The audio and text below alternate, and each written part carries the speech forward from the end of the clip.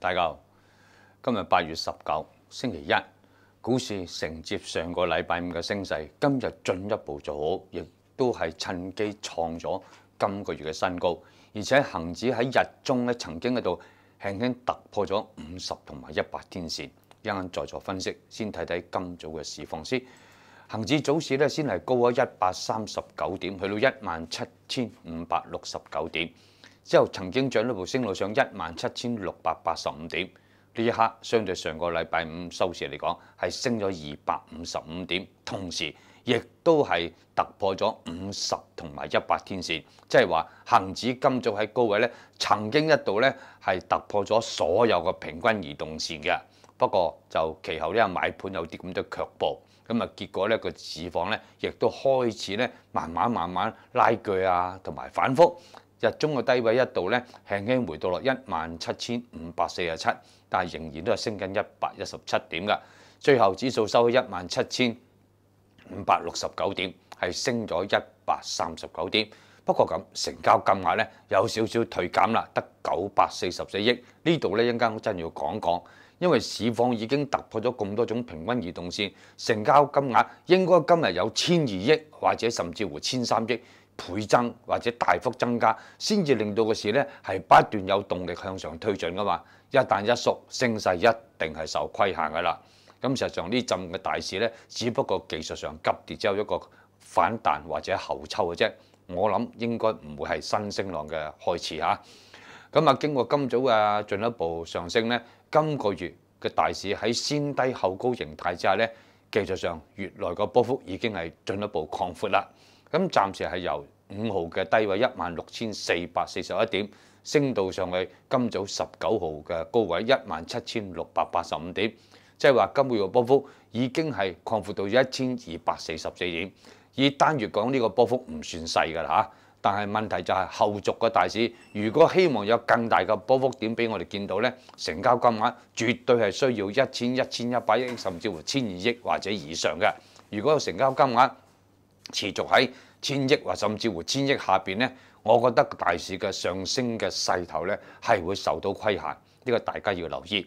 好啦，值得一提嘅，頭先我講到指數今朝個高位曾經一度突破五十同埋一百天線啊嘛。嗱，首先嚟講，以指數收一萬七千五百六十九點嚟計咧，係走喺十、二十同埋二百五十天線之上嘅。問題就係五十天線係喺一萬七千五百九十四點。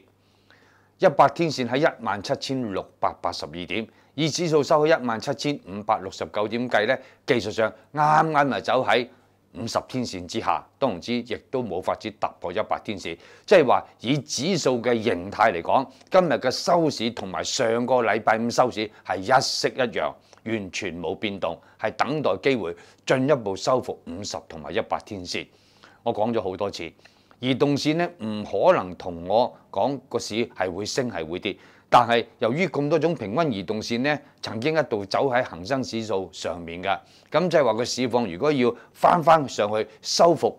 啊各種平均移動線咧，成技術上嘅勢頭係一定要喺大成交之下咧作一個支持向上推嘅，咁啊從而令到個大市咧出現一個變化，即係好似上個禮拜五咁樣成交金額。輕輕有一千億，你咪有機會翻翻上十二十同埋二百五十天線之上咯。即係而家除咗睇指數嘅變動之後咧，最重要睇成交金額。去到而家一萬七千五百零點嘅指數咧，冇足夠嘅推動力，冇足夠嘅成交金額支持咧，個市唔係咁容易推進嘅。呢個大家要留意。大家好，今天是八月十九，星期一。股市經過上個星期五的上升之後，由于恒生指数已经回升到十、二十跟两百五十天线以上，而且也创了这个月的新高，等于说，暂时八月份已经出现一个先低后高的走势，到今早今早指数再进一步往上创八月份的另外一个新高，而且恒生指数也曾经一度。回升到五十跟一百天线以上，等于等一下再分析。先看看今天的情况，恒生指数早段先高开一百三十九点到一万七千五百六十九点，然后稍微有一点点的反复而低见一万七千五百五十五点，可是估压并不是很明显，还有买盘的不断的出现，这个指数就一步一步上升到一万七千六百八十五点才停步。相对上个星期五来说，这一分钟是上升两百五十五点。更重要的就是，指数首先已经创了八月份的新高。那相对这个的低位是五号的一万六千四百四十一点，等于说，结轨的波幅暂时已经有一千两百四十四点。当然，暂时还是八月十九号，八月份还有很多很多个交易天，往后。指数还是有机会再进一步推进的，关键就是成交，就是动力方面能不能够配合，这个很重要，很重要。再看看移动线方面，其实今早指数最高是见过一万七千六百八十五点，在那一分钟，指数已经进一步往上升破五十天线跟一百天线。值得一提的就是。现在移动线方面最高的就是一百天线，大概在一万七千六百八十二点，往下的就是五十天线，大概在一万七千五百九十五点。指数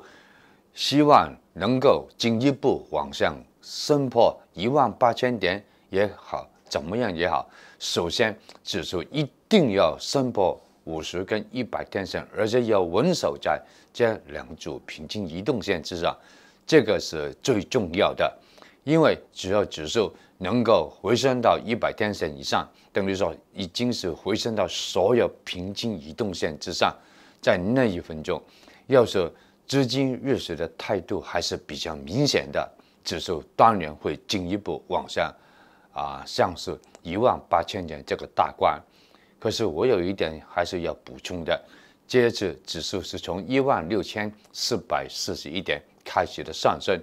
技术上来说，只是一个大跌之后一个技术上的反弹而已，并不是一个升浪的开始，所以要做一点点的投机性的布局，问题不大。当然，最重要还是风险管理一定要做好。另外，早前在抓在手的股份比较多，而当指数跌到一万六千四百四十一点的时候，心里很乱，而且压力也很大。好了，现在已经算是一千多点，以后要是指数能够再进一步往上，啊，创另外一个新高的话，那啊，要不要稍微减持一点点，自己要考虑了。很快股市会步入这个月的最后的一个阶段，等于说啊，这个月的期指转仓跟结算的活动会慢慢主导整个大市的。不过现在才不过十九号，未来还有很多很多个交易天，就要先看看成交就是资金入市的态度到底是怎么样。好了，下午分析就说到这里，大家记得俾 like、留言、订阅、撳埋鐘仔，分享埋俾身邊嘅朋友。如果想鼓勵我哋嘅話，歡迎可以撳埋個 Super Fans 俾多啲支持我哋，多謝。